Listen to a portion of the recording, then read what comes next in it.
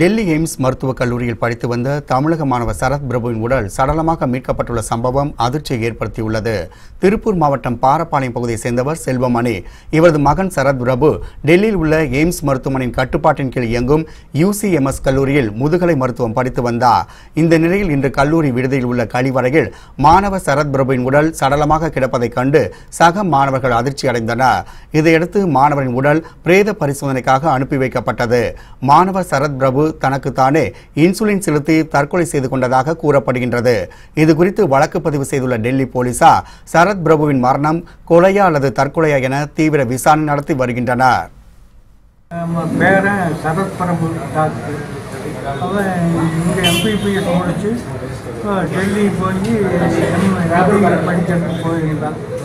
அப்புறம் நைட்டு பத்து மணிக்கு நல்லா பேசிகிட்டு இருக்கிறான். காலையில் பார்த்தா ஃபோன் பண்ணுறது ஆறு மணிக்கு ஃபோன் வந்தது. இந்த மாதிரி பாத்ரூமில் விழுந்துட்டாரு கிடக்கிறாரு அப்படின்னு.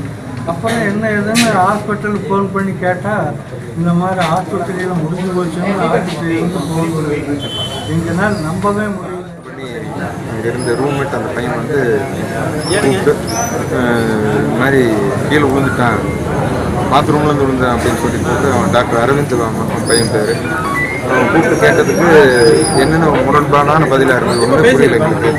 அடுத்த செகண்டில் பார்த்தோன்னா இந்த மாதிரி நல்லா சொல்லு தம்பி என்னப்பா கரெக்டாக சொல்லணும் பயமில்லாமல் சொல்லணும்னு சொன்னோன்னே இறந்துட்டானுங்க அப்படின்னு சொல்லி சொல்லுவாங்க என்ன நாங்கள் எங்களுக்கு திருப்பூர்லேருந்து ஒன்றுமே தெரியுமா கடந்த இரண்டாயிரத்தி பதினாறாம் ஆண்டு டெல்லி எய்ம்ஸ் மருத்துவக் கல்லூரியில் தமிழகத்தைச் சேர்ந்த சரவணன் என்ற மாணவரும் இதேபோல் மர்மமான முறையில் உயிரிழந்தார் என்பது குறிப்பிடத்தக்கது.